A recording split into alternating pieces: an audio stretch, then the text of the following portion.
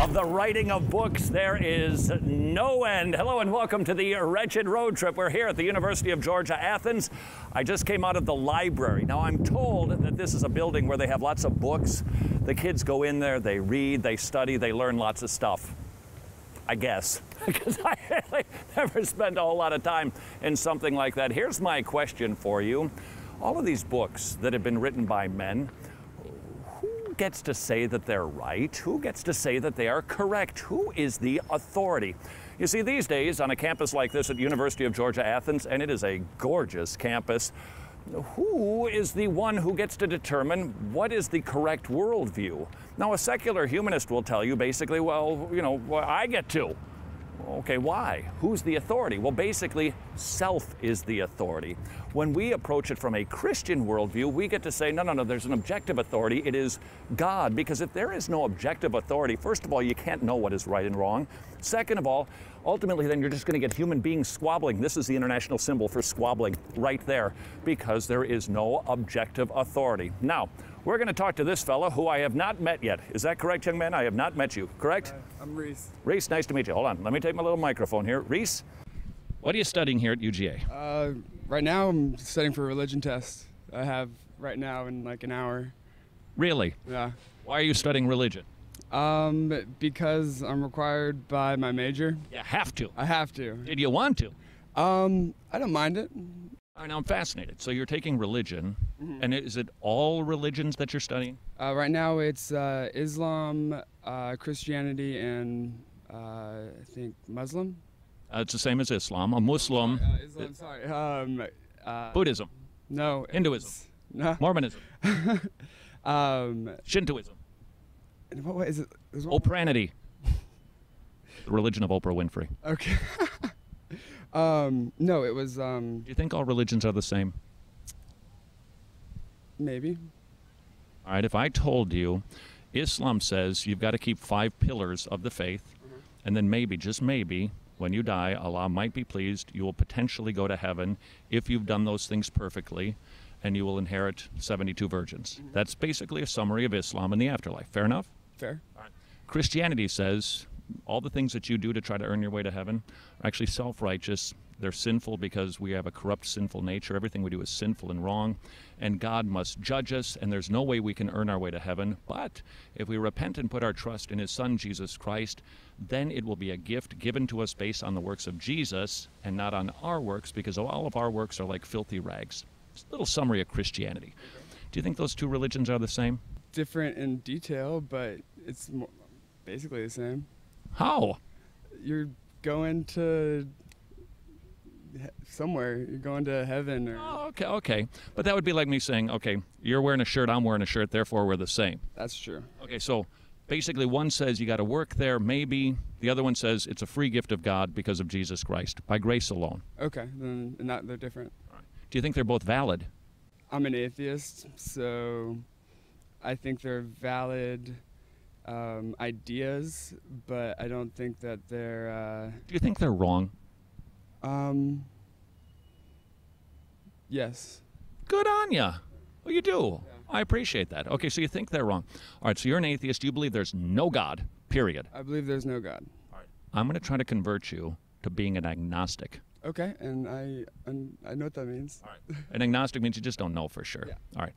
Atheist basically a negates the word theism, which is God. So there's no God. That's your position. Definitively, there's no God. But to maintain that position, you have to have all knowledge of everything that is happening, has happened, what's going on in Mars, what's going on in Nebraska, which really pretty much the same landscape. You have to know everything about everything to definitively state there is no God. Do you have all knowledge of everything? No. Therefore, there's a chance that God could exist. Yes. You just don't know. I just don't know. Congratulations, you're an agnostic. All right, I'm an agnostic. Dude, you backslid right here on this bench. All right. Did you grow up in a Christian home? I grew up in a Catholic home, um, and actually did call myself an agnostic a couple years back, and switched it over to atheism just because I didn't want to believe in any kind of God. How come, dude? Um, I don't know. I I, I think I'm a logical minded person and I like to have proof for what I think. So I guess I'm just saying against what atheist is. So now that I'm just saying that I'm agnostic because I don't have proof that there isn't a God, so I can't say that I'm an atheist. So I'm just contradicting myself. But you, but that's okay. But you, you wanted to demonstrate that God doesn't exist. Mm-hmm. Why don't you like the idea of God? I think it gives false hope. I think that when you die, you probably not gonna just gonna be in the ground or dirt. So you want some evidence to prove that God exists. Yes. How much do you need? Um. Probably some pretty solid evidence. All right. If I could give you a ton of evidence, do you think you'd be convinced that God exists? A miracle? A miracle, maybe a miracle. All Um, right, I got a miracle for you. Okay. You're looking through them right now. Your eyes.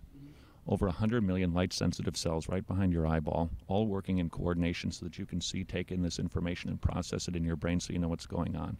That wasn't luck. That's a miracle. You're made by God. or I was made by evolution, and I mean just the same way that animals evolved, and I understand, but consider the symmetry of your eyes. Yeah, I understand, but how did it? How does a rock, or how does somebody who doesn't even understand the refraction of light know that there's light out there somehow to determine that I can comprehend what's in front of me? I don't even know what the concept of sight is if I don't see anything. Okay, you don't even see darkness when you're blind. You, you don't see anything. You just there's nothing. So how would this bench know that there's something out there to be seen and then go about the business of evolving eyes? are you saying a bench can evolve? Well, ultimately, you evolved supposedly from a rock because you came from something that didn't have life into life. So somehow you jumped from being a rock to being a human being. Okay. So somehow we came up with the idea that there's stuff out there to be seen. And I can process it. I don't think that could all happen by luck and chance. I think that it takes so much design, so much complexity. Somebody had to design it and put you together. And so that I think is your miracle. But I think there's even more. I think you got a whole universe. This whole thing is so complex and so marvelously made. You have to just look at it and go, you know, there's a microphone maker. I've never met the guy. I've never been to the factory, but there must be a microphone maker because there's a microphone. Mm-hmm. There must be a universe maker because there's a universe. I think the universe screams to you God exists. How's that for proof? Uh, I think the universe is very, very good argument. Um, but the Big Bang is also a great argument. I'm going to try to right now circumvent your intellect, and I'm going to go to a different part of your brain. Okay. Instead of your intellect, I want to go to your conscience. It's that area in your brain that goes, this is wrong, this is right, this is good, this is bad. And I want to try to poke at it a little bit, okay? And see if we can stir you in your conscience. Now, I was looking at this. This is the books of the New Testament, and it describes Matthew, Mark, Luke, and John. Now, you said also that you like Judaism. You were studying Judaism as one of your world religions, correct? In the Old Testament, which is the Torah for the Jewish people, the laws of Moses. Do you know what those are? I can remember. Ten Commandments. Okay, Do you know the Ten Commandments? I do. All right. Give me a couple.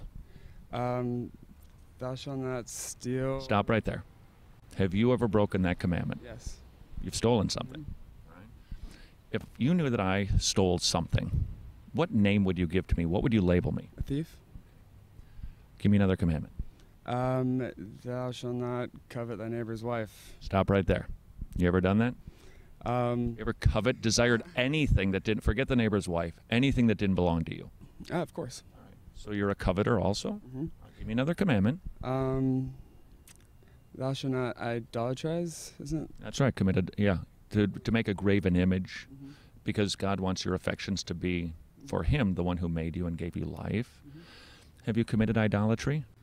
Um, well, growing up as a Catholic, I feel like I have. Um, But has God always been the primary affection in your life where you've been living for Him, honoring Him with everything you do? No. Give me another commandment. um, thou shalt not um, murder. Have you ever done that? No. Let me tell you what Jesus said. He said that if you just call somebody an idiot, a moron, you're just yeah, mad at somebody, you're in danger of the judgment because that makes you a murderer at heart. You don't commit the act, but that anger God sees very similar to murder at the heart. Now, it's not as gross a sin, c- clearly, but it's still a violation of God's law and His perfect standard. Have you ever murdered somebody in your heart? Uh, I don't think I could in my heart. Do you drive a car? I do. Ever been mad at somebody down the road? Um, I have. All right, so have you committed murder in your heart? I think that's a stretch. All right, let me try another one. All right, Jesus said, if you look with lust, you've committed adultery in your heart. Now, you look like a normal guy, so I'm just going to trust that maybe you've violated that commandment, but it's none of my business. Okay? All right? All right, so we just did a little summary of the commandments. Now, sometimes people think you keep the commandments and then God will accept you when you get to heaven. But here's what we've learned about you and me. We've broken those commandments. So, what do you think a just and holy God should do with people who have broken his laws? Um, well, obviously, we have a forgiving God. Hold on. What should a righteous, holy God do?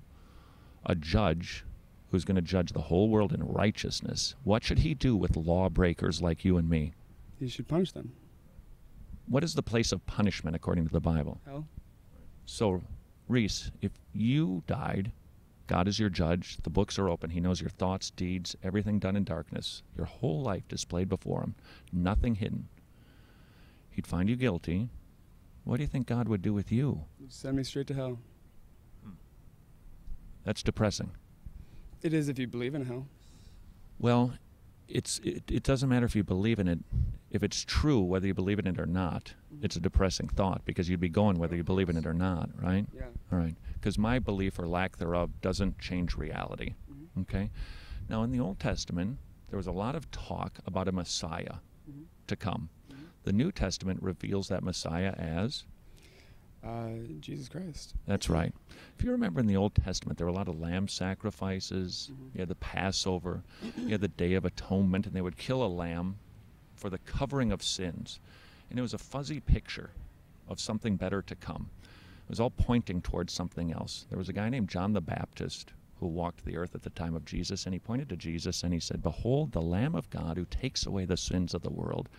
All those fuzzy pictures in the Old Testament of lamb sacrifices were pointing toward the one, the perfect lamb who was going to die Jesus on the cross. for the, that's right, Jesus on the cross for the forgiveness of sins. So the Messiah came to save you from the wrath that you will face if you die in your sins. That's the gospel of Christianity. Mhm. That you can't do anything to earn your way to heaven. You've earned hell for yourself, but Jesus, because of his perfect life and his perfect righteousness, taking the wrath of the Father on your behalf, the punishment you deserve, he took for you, even though he knew you were going to look with lust, that you would be a coveter, that you'd be an idolater. He loved you and died for you anyway. Rose from the dead, ascended into heaven. And now this day he commands you to repent and put your trust in him. And he says, if you will do that, he will completely forgive your sins and he will inherit you and adopt you as his child. That's the good news of the gospel. Mhm. All right? Now, here's my question for you. Why would you reject that?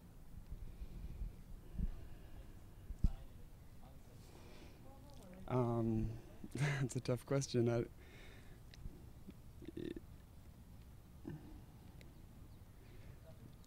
yeah, I, you, it's hard to reject it. Um, God dying for you, even though you've sinned against him, can you think of an act that anybody has ever done for you that has demonstrated a greater love than that? um, no. Maybe, maybe just my my mother's love. Yeah. But imagine a, a somebody that you've offended, that you've willfully rebelled against, kind of shaken your fist at and said, "Don't care, don't care. I'm going to live it my way, and I'm going to put my affections toward other things." Died for you anyway. Now, the question that I asked before we took a little break: Why would you reject that kind offer? That He is willing to forgive you. Um, there's not many logical reasons why you would. Um, but n- maybe you uh, don't believe in all of his rules. Um, I know there's a, a lot of sins that are um, pretty daily in normal life, and it's not that I'm rejecting his acceptance, but I'm living my life. You prefer living by your set of rules rather than God's set of rules. Uh, yeah. Okay. See if this does anything for you. Okay. Sometimes people's perception of Christianity is that it's about keeping rules. All right, and God is kind of a you know authoritarian, and He wants you to live like this, and He just wants to steal all the fun from our lives. Maybe just to position this a little bit differently. If God was willing to die for you, and He is the most amazingly kind, loving being in the universe, wouldn't it really be a joy and a delight to follow Him and His rules because we're grateful for Him? Um, yeah. I mean, obviously, if I believed in Him, then I would be grateful. Um, but I don't. Here's a here's a here's a question that Jesus asked: What does it profit a man if he gains the whole world but loses his very soul? Your soul, the thing that lives on for forever. Mm-hmm. It's precious, right? It is. All right. So let's say you have whatever it is that you want to do, whatever things that you want to Mm-hmm. Participate in that you enjoy today. If at the end of your life you stand before God, the books are open, and He looks at you and says, You're guilty. You have broken my rules and you knew it. Mm-hmm. There was a guy who sat on a bench with you when you were going to University of Georgia Athens and he pleaded with you to turn from your sins and put your trust in my son and you rebelled and you wouldn't do it even though your conscience said I know I've done wrong and I know I've got a problem with my court date. You lived your whole life for yourself anyway. Will it have been worth it? Um, I think my love for life and the life that I live is stronger than any regret that I'll ever have. Um, I feel like I have so much passion to live and pursue my own happiness, uh, not out of selfishness, but out of um, life's short. Let me, let me try to be specific. Are you saying that you want to just live your life any way that you want to? That's that's your desire, or you just you don't like the idea of God's rules and and just taking all the fun away from you. What exactly are you are you trying to say here? Um, I think I want to live my life. Um, his his rules are one thing, but So let's just pick something. Partying. partying. All right, you don't want to give up partying. No, love partying. Okay. So could I boil it down this way? You love partying more than the God who died for you. Um, I, yes, So you like partying more than Jesus but I like happiness more than I like Je- Jesus. Yeah, you know what? I, I, I connect happiness to the things that I do, and I live my life every day in the pursuit of happiness. And it's that's the one thing that defines my life is happiness. And if I'm living a miserable life, which I am not 100% is going to continue on to an afterlife, why would I want to live such a short life in unhappiness? well, I was trying to I was trying to poke at your conscience. Remember, mm-hmm. try to get there so that you go. You know, I I do know that I've been doing wrong. I do know that my life has been wrong. Mm-hmm. I've got a universe that tells me there's a God. My conscience tells me I've sinned against Him. So you've got all kinds of intellectual and you've got all kinds of conscience issues going on inside of your brain, but you're suppressing that that that obvious knowledge because you, Reese, basically want to be the God of your life. Yes. Fair enough. All right. I can't force you to do anything. I mean, it looks like you could take me anyway. All right. I can't force, and that's and that's not what Christianity is about. It's not a turn or burn. That's not the message of Christianity. The message is, yeah, if you don't turn, you will go to hell. But God's so kind; He died to save you, and we should want to repent and put our trust in Him because, wow, who wouldn't want to believe and follow that God? As you go through life, whether it's today or in months or years to come, as you start to realize the vanity of what life is, when you have your next hangover or you wake up with your next heartbreak and you start to realize it's all very temporal and fleeting and your conscience troubles you, think about what I shared with you today because God's offer stands for you. If you'll repent and put your trust in Jesus, as wicked as you've been, whatever it is that you've done, He will completely forget it and forgive you because He's that good. That's all I can say to you. I will take that to heart. Fair enough. You are a gentleman. Really, you are. And you're patient. Thanks for not dumping me.